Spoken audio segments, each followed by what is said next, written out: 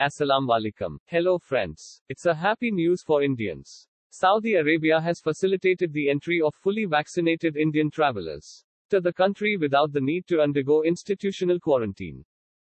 Please subscribe my channel Chillibilli Vlogs. Please like, comment and share this video. Press notification symbol for further see my new videos. Thanks for your support. As per today news November 12th. Indian news channels of Times of India, News 18, India.com state that Saudi Arabia recognizes Covishield beneficiaries can now enter without quarantine. But still no official news from Saudi Gazette. As per the latest development, Saudi Arabia has also recognized Serum Institute of India's Covishield as an approved COVID vaccine for entry into the country. As such, with this move, Saudi Arabia has facilitated the entry of fully vaccinated Indian travelers to the country without the need to undergo institutional quarantine.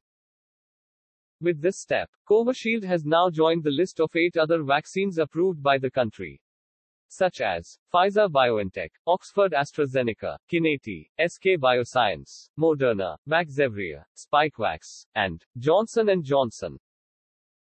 The Saudi Tourism Authority also issued a statement stating that the Indian travelers who are fully vaccinated with Saudi approved vaccines will now be able to enter the country without institutional quarantine.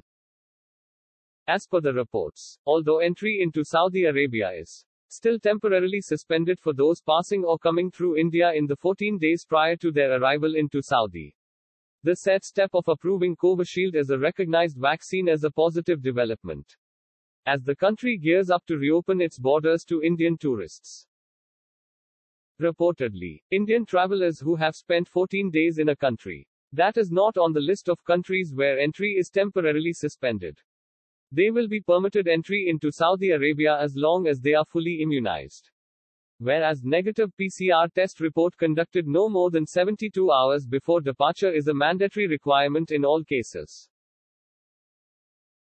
All peoples are eagerly waiting for official announcement from Saudi Gazette. I am praying to the God to lift the ban of red listed countries as earliest as possible because many workmen want to return to the job amp, whoever missing their family to bring back to Saudi Arabia.